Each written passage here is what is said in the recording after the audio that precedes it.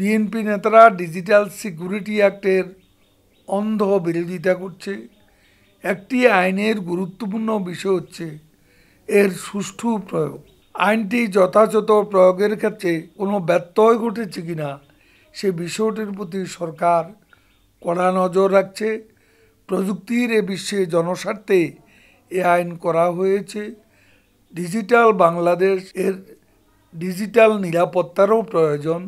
যেটা প্রধানমন্ত্রী বলেছেন, আইনের অপপ্রয়োগ যেন না হয়, সে বিষয়ে উচ্চ পর্যায় থেকে নির্দেশনা দেওয়া হয়েছে।